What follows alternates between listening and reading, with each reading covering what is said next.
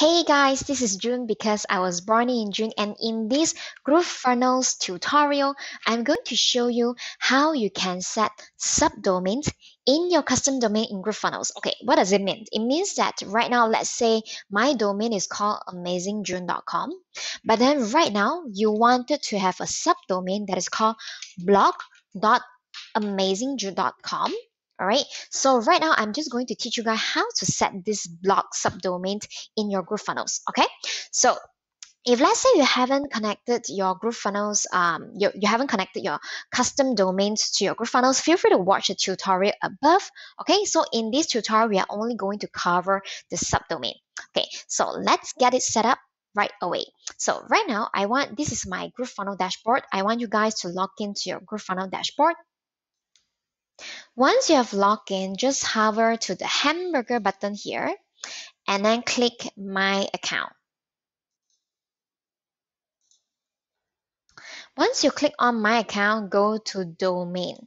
Okay, as you can see, I already set all these custom domain, my amazingjune.com hosted in GrooveFunnels. So if let's you haven't done so, feel free to follow to the card above where I teach you uh, uh, even in-depth tutorial about it. So right now, what we wanted to do is that we wanted to add for the amazingacademy.co, we wanted to add a blog .amazingacademy.co in GrooveFunnels and GroovePages. So what you need to do, I want you guys to add like add domain.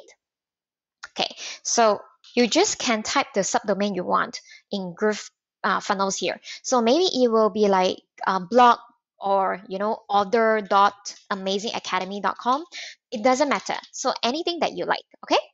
So i will just type blog that would be subdomain that i wanted and then this domain I already hosted in groovefunnels so right now because i'm going to use it for my blog purpose i'm just going to select blog okay? Just pick no and then hit save.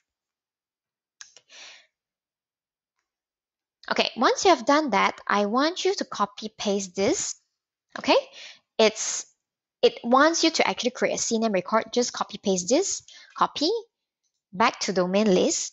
Okay so because I wanted to add this blog.amazingacademy.co right the root domain is called Amazing Academy.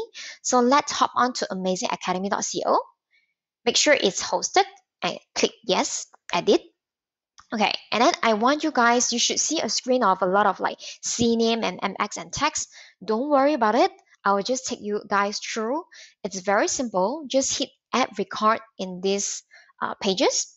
Type select CNAME. You can just leave it here. Name, right? I want you guys to put blog dot amazing academy academy.co and content just paste it the one that we copied just now which is host.groovepages.com uh, and then hit save. This is exactly the uh, subdomain that I wanted just now okay? Just hit save. Okay so you'll probably see something like this called cnamed blog.amazingacademy.co this is what I want uh, what I pasted. And right now proxy I want you to hit enable Okay? Once you have done that, I want you to go back to the GrooveFunnels portal where you are going to go to your GrooveBlog. Okay, it doesn't matter if let's say it's a GrooveBlog or GrooveKart, you can always use the same method as well. So in my scenario, I'm going to connect with my GrooveBlog. So just hit GrooveBlog in GrooveFunnels dashboard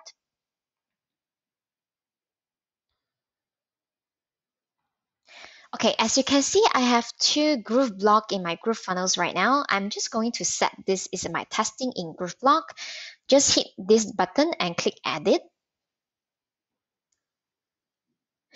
And then after that, just go to the settings over here. Okay, settings in the GrooveBlog dashboard. Hit the settings Okay, this is where these are all the settings that I'm not going to go through in detail, but what you need to do is just to set up whatever that you want, like the logo, the favicons in your GrooveBlog. What is relevant to us will be the domain part, okay? So currently I'm using this um, subdomain that is june.grooveblog.com, but then instead of um, going to my blog will be june.grooveblog.com, okay? I wanted to select another do subdomain that I've done just now, which is blog.amazingacademy.co. Okay. And then instead of directing people to here, I can now direct them to here. And right now, once you select it, just hit save. Okay, so let's just do a testing right now. So right now, I'm just going to copy and paste this. Okay. And then I paste it right here in my browser. It's now connected to my Groove blog already. All right. So basically, this is a part of the Groove blog. Um, if let's say you guys are interested to check out uh, this is the testing site. You guys can actually jo- just go and check blog.amazing june.com, you are actually going to be able to enroll my free training on Groove Funnels where you are able to see even more tutorials on teaching you how to set up your Groove Funnels, uh, Groove blog, and how to use Groove videos. All right. So this is the blog. As you guys can see, this is blog.amazingjune.com. So I hope that this tutorial helped you to know how to set up the subdomains. Uh, remember, this method works no matter it's in your GrooveKart, Groove blog, or any anywhere else. Okay.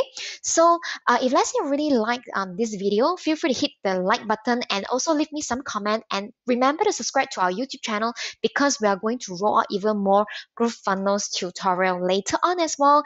And if let's say you like that, feel free to also check my resources on uh, getting like a free training. You can hop on to blog.amazingjune.com and then get the free training right here.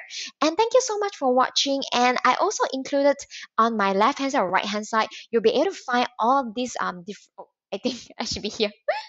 Be able to find all these different videos um, that is related to Groove Funnels training that will be be uh, be of your help. So feel free to check it out, and I'll see you in the next video. Then take care. Bye.